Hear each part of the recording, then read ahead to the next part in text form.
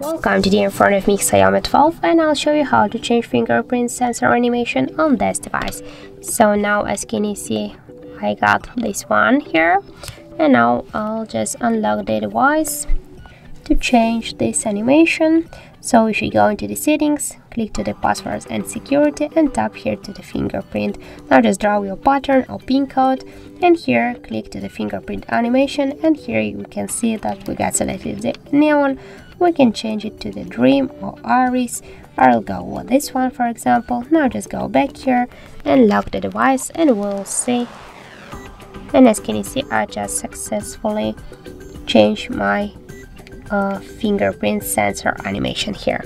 So that's it. Thank you for watching and if you find this video helpful don't forget to leave a like comment and to subscribe our channel